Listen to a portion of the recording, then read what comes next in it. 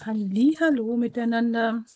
Und weiter geht's mit der Serie, mit dem Block von Action. Und dieser Rahmenstandsschablone verlinke ich euch. Und jetzt möchte ich mit dieser Standschablone mit euch was machen.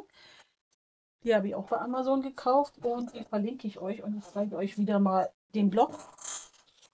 Und zwar diesen und das Papier habe ich da rausgenommen. Habe ich schon mal einmal gestanzt. Und das ist das Papier von Action. Und dieses hier. Und ihr wisst ja, dass das Glitzerpapier echt eine Diva ist, ne? Und die habe ich schon mal ausgestanzt. Und ich will den ja nochmal ausstanzen. Moment, der kommt hier rauf. Und zwar mit dem weißen Glitzerpapier. Und das mache ich mit euch zusammen, damit ihr das seht, wie ich das mache. So. Und zwar habe ich diese Metallstandschabblerplatte, die verlinke ich euch auch. Die könnt ihr mal überall reinmachen. Wenn ihr die nicht habt, ist das nicht schlimm weil ihr könnt auch Opferpapier nehmen. Das heißt, ihr packt einfach zwei Lagen oder drei Lagen Papier hier drauf und nehmt eure Platte und kurbelt es dann durch. Ich nehme jetzt, wie gesagt, diese Platte hier. Ich verlinke euch die. Ich finde die gerade bei so widerspenstigem Papier, wie dieses Papier halt ist. Und dann kurbeln wir hier mal fleißig mehrmals durch. Nummer 1 und 2, 3, 4. Ich mache mal vorsichtshalber noch eine Runde.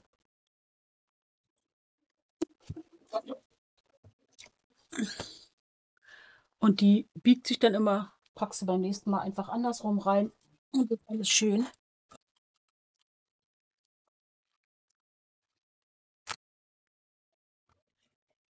Und dann finde ich das mit euch zusammen auseinander, damit ihr einfach seht, dass es auch bei diesen Standschablonen, die manchmal, und wie gesagt, vor allem bei diesem Papier, ich möchte die ja unterschiedlich machen. Und ich fange jetzt einfach mal mit denen an, mit dem bin ich ja schon, habe ich ja schon angefangen, damit ihr das seht, dass auch widerspenstiges Papier nutzbar ist. Wie gesagt, Opferpapier ist, äh, wenn ihr einfach zwei, drei Lagen Kopierpapier dazwischen da drauf legt und es dann also über eure Standschablone legt und es dann damit durchkurbelt. Wie gesagt, das, ähm, die Standschablone ist super, aber dieses Papier, was ihr natürlich jetzt benutzen wollte, ist ähm, furchtbar, weil es ähm, franzt. Es franzt aus und es ist blöd, aber ich wollte das gerne benutzen und deswegen wollte ich euch aber auch mal zeigen, dass manches Papier mit den richtigen Hilfsmitteln trotzdem geht. Also man braucht jetzt ein bisschen, um das hier rauszumachen. Es geht relativ gut, weil ich es halt auch viermal, fünfmal durchgenudelt habe. Und ich mache das trotzdem vorsichtig, weil ich nicht möchte, dass ähm, das Papier einreißt. Das ist übrigens, glaube ich, das sechste Video, was ich heute mache. Ähm, ihr kriegt die Videos ja jeden Tag ein Video, während ich in Berlin bin. Wobei ich überlege, ob ich dieses Video schon mal heute nochmal hochlade. Heute ist Sonntag und zwar der 13. Also nächste Woche fahren wir, wie gesagt, nach Berlin. Und habe heute schon ein Video hochgeladen, aber vielleicht lade ich euch das heute auch noch hoch. Dann habt ihr schon mal was, worauf ihr euch freuen könnt, nämlich, dass ihr in der Zeit jeden Tag ein Video von mir kriegt. Das will hier irgendwie nicht. Rein theoretisch könnte man es auch drin lassen. Das da oben. Ich probiere es natürlich gleich trotzdem. Ähm, unter Normalumständen hätte ich das jetzt schon ausgestanzt und würde es euch nicht zeigen. Aber falls ihr euch diese Standschablone auch holt und dann dieses Papier benutzt und euch dann denkt, warum hat Anja uns das nicht gezeigt, habe ich mir gedacht, dann zeige ich es euch, wie das jetzt hier geht. Und dass das, auch wenn es rumzickt, trotzdem relativ gut für die Verhältnisse von diesem Papier geht. Ihr könnt es natürlich vorskippen oder doppelte Geschwindigkeit machen, damit ihr jetzt nicht die ganze Zeit zuguckt und zuhört, was ich hier sage. Allerdings, wenn ihr das natürlich nicht zuhört und ich vielleicht irgendwelche Sachen sage, die wichtig sein könnten für die Neulinge, dann ist es natürlich doof, weil ihr es nicht gehört habt. Für alle Neulinge auf meinem Kanal, schön, dass ihr da seid. Und ähm, ihr kriegt bei mir immer alles zu sehen. Auch wenn irgendwas schief geht und ich das verhaue, kriegt ihr das trotzdem zu sehen. Ich schneide meine Videos nicht. Ähm, damit will ich nicht sagen, dass es schlecht ist, wenn man seine Videos schneidet. Ich mache das nicht. Bei mir kriegt ihr alles zu sehen, weil alles, was ich falsch mache, müsst ihr nicht mehr falsch machen. Hier ist jetzt aber echt mal, ich lasse den drin, weil ich will das jetzt nicht hier auf den letzten Drücker. Ähm, ich klebe den einfach auch noch mal rein, der hier, den ich da rausgenommen habe. Ich will es nicht kaputt machen und deswegen lasse ich das jetzt drin.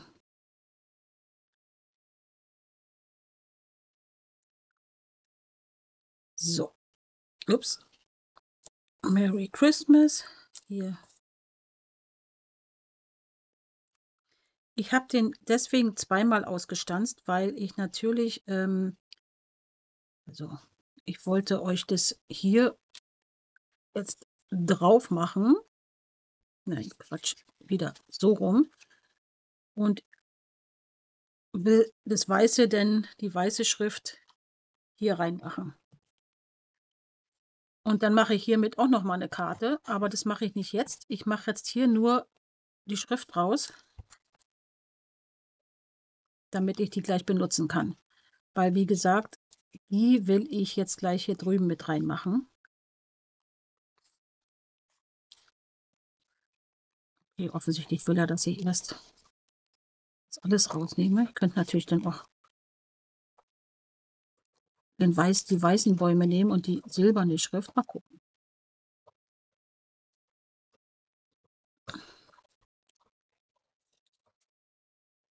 Falls ihr das hören solltet, dass da gerade jemand kratzt, das ist mein Katerpinsel. Pinsel ist der rot getigerte, der hier auch ab und zu mal ins Bild springt, der gerade an unserer Türmatte der Innentürmatte sich die Krallen schärft. So. Dann gucken wir doch mal gleich, weil ich das jetzt sowieso schon draus ha draußen habe, welches von beiden wir jetzt da drauf machen. Das silberne mit der silbernen Schrift oder umgekehrt. Ich weiß nicht, warum der jetzt hier an der Ecke mich ein bisschen ärgern will, dass er hier nicht so raus will. So.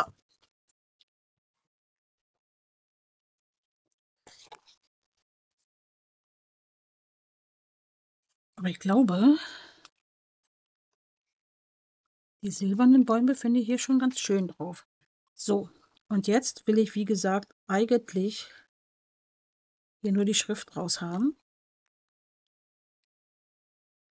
weil ich die da drüben reinsetzen will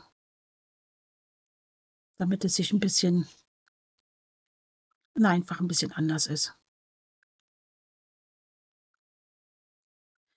Also, wie gesagt, mit Opferpapier oder mit dieser Metallplatte könnt ihr halt auch schwierige Stanzschablonen bzw. schwierige Papiere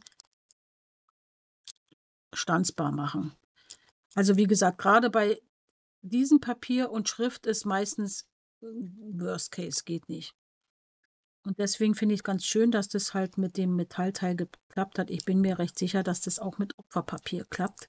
Vielleicht müsst ihr dann sechsmal hin und also sechsmal hin und her nudeln, ähm, damit ihr das rauskriegt. Aber ihr seht, man kriegt es hin. So. Sorry. Stumm. Ich habe ja immer mein Handy hier vor der Nase für den Fall der Fälle, dass irgendwas Wichtiges ist. Da ja mein erwachsener Sohn in Bonn wohnt, der das natürlich gar nicht braucht, aber als Mutter ist man ja irgendwie immer Mutter und auch wenn das Kind erwachsen ist, ähm, denkt man, man muss 24-7 erreichbar sein. Also ich jedenfalls. ja. So, hier noch schnell das auch raus und dann können wir das schon kleben. Ja, also ich weiß noch nicht, wann ich dieses Video hochlade, ob ich das heute am Sonntag hochlade, weil den hier, wie gesagt, will ich da jetzt reinmachen. Oder ob ich ähm, das mit, der, mit den anderen in Reihe mache, weil ich habe schon ein paar von diesen Videos jetzt gemacht mit diesem Blog. Ich dödel muss ich ja so rummachen, weil die Bäume ja sonst schräg sind jetzt. Also ich bin ja ein Dussel. Habe ich natürlich nicht drauf geachtet, als ich das jetzt ausgestanzt habe. Muss ich kurz mal überlegen, finde ich so rum schöner? Oder so rum und dass es hier ein bisschen rüber guckt. Ich fange immer wieder mit dem Grauen an, aber irgendwie finde ich immer wieder das Grau eigentlich doof weil es keinen guten Kontrast hat und nehmen mir dann von denen was.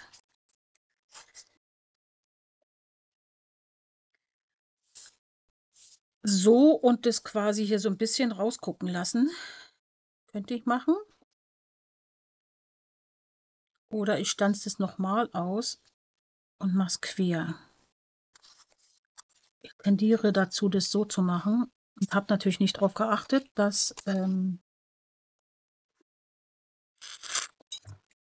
das Bäume quer schöner ist. Also müssen wir das nochmal schnell machen.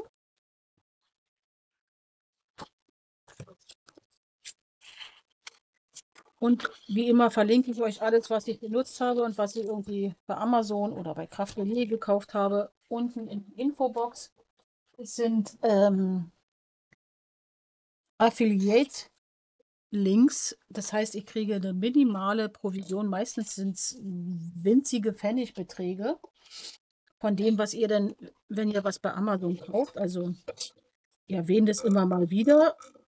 Unten in der Infobox ist es auch beschrieben, aber immer zwischendurch sage ich das mal, damit, das, damit ihr das einfach wisst. So, also jetzt mache ich den erstmal Querformat.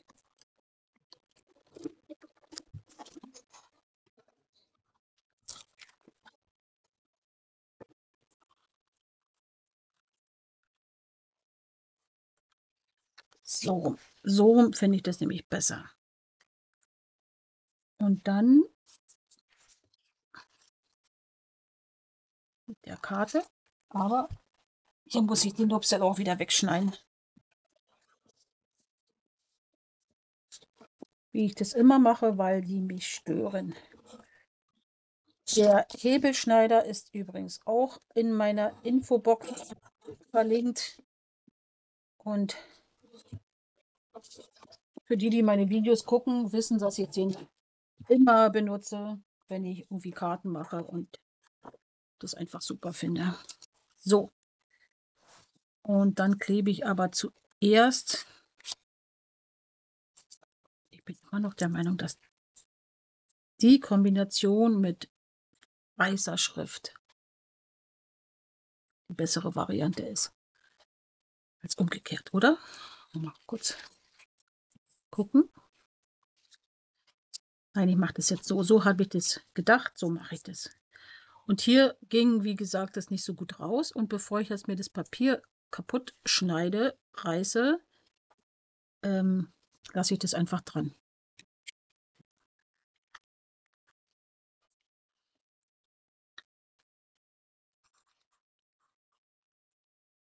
Letztes Jahr habe ich mit dieser Standschablone auch schon Karten gemacht.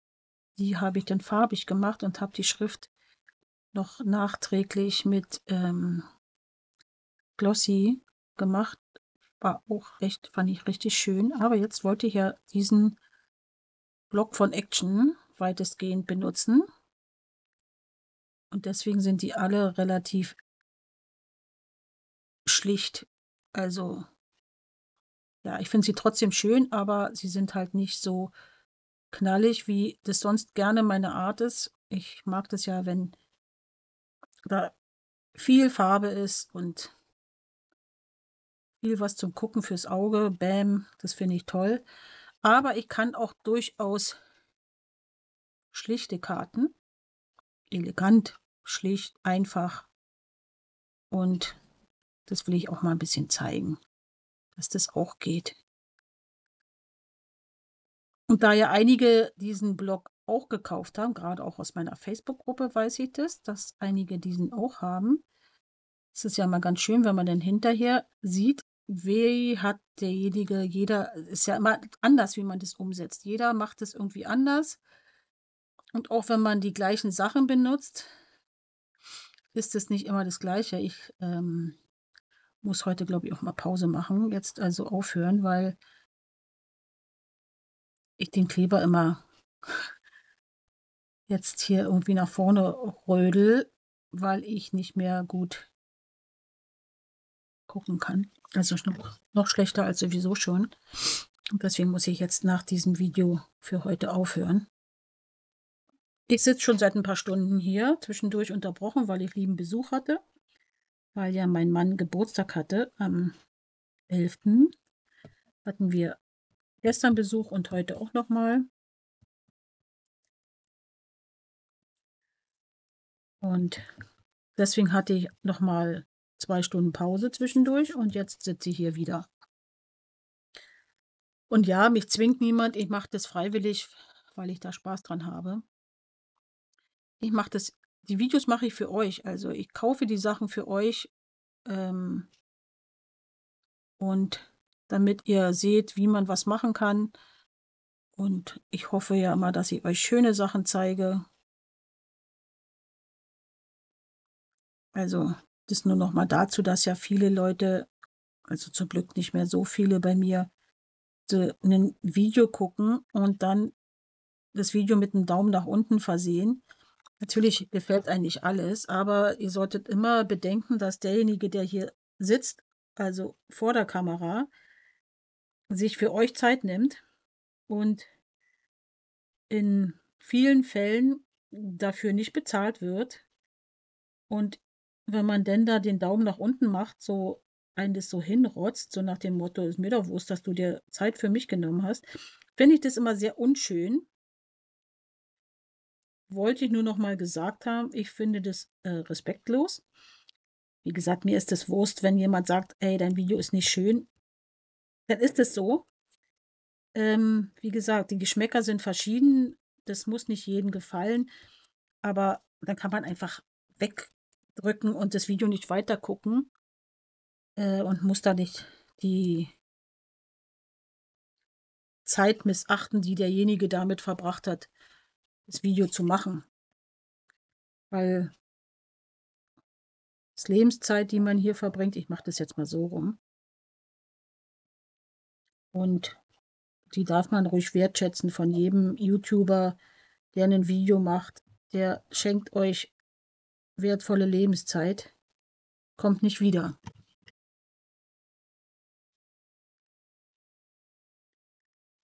So.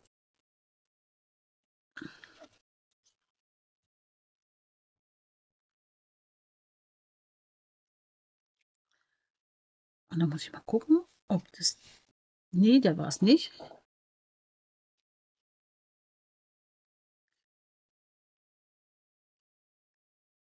Der ist es, glaube ich. Nee, der ist es auch nicht. Ist egal. Ist es der? Doch nicht egal. ja.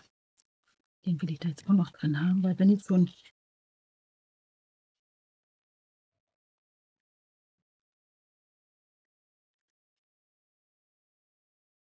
Dann sollen die da alle drin sein.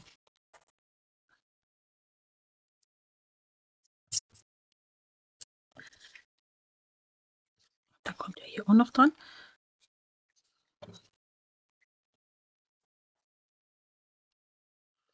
Muss mal vorher noch gucken, ob da irgendwas noch fehlt, ob, mir, ob ich da noch irgendwas dran machen soll oder ich mache das jetzt erstmal an.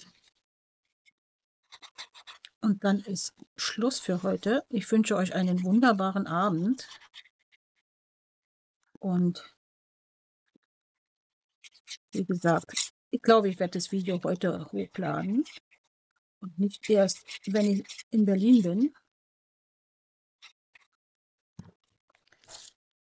Dann kann ich euch nämlich einen schönen Abend wünschen, weil die anderen Videos nämlich immer um 7 Uhr hochgeladen werden. Dann wäre jetzt ein schöner Abend irgendwie doof, ne? Weil es nämlich dunkel. Ist jetzt 19 Uhr. Und deswegen kann ich euch jetzt einen schönen Abend wünschen. Bin gespannt, wie euch die Karte gefällt.